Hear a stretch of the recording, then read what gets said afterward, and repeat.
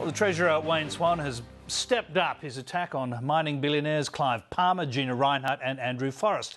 This time invoking the words of American rock star Bruce Springsteen in a keynote speech tonight. The opposition is accusing the Treasurer of trivialising his responsibilities. And even some on his own side have been left scratching their heads. Political correspondent Tom Iggulden has more from Canberra.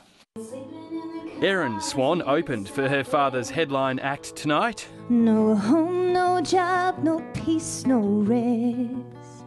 With Bruce Springsteen's working class lament, the ghost of Tom Joad. Decent job or a helping hand. And while one Swan sang, Mm-hmm. another used the words of the boss to attack the bosses. Poor man want to be rich, rich man want to be king, and a king ain't satisfied till he rules everything. Now, when I listened to that song again recently, it struck me that Springsteen was talking expressly about a few people I've written about lately. People like mining magnate Clive Palmer, who's making a public tilt for Parliament, and Gina Rinehart, who's trying to buy editorial control of the Sydney Morning Herald and The Age. On the face of all this, we've had to stand up and be heard because when the massively wealthy buy the loudest megaphones, the voices of the people are drowned out. And the inference that small business owners, union members, the low paid, the poor, the old, and the ill have no legitimate voice in our economic debates and have no right to share in our national wealth is one that I'll fight to my last breath. Clive Palmer says his musical inspiration wasn't born in the USA.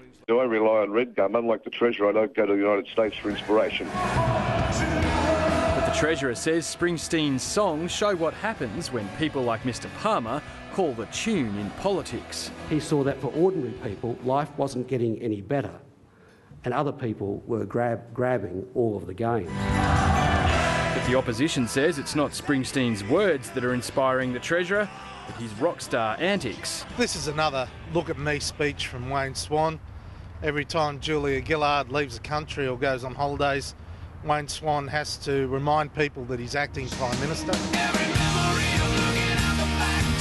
The Shadow Treasurer says he's a fan of soft metal rockers Nickelback, not that they inspire him.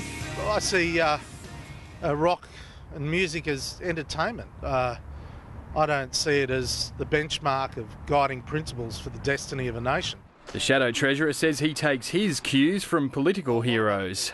Adam Smith or a John Stuart Mill or a, uh, you know, uh, a, a Menzies. But the Treasurer's colleagues were tuned in to Mr Swan's song and barely missed a beat. I'm a huge fan of Bruce Springsteen myself, not as much as Wayne. I don't mind the boss, but I'm more of a Bob Dylan man myself.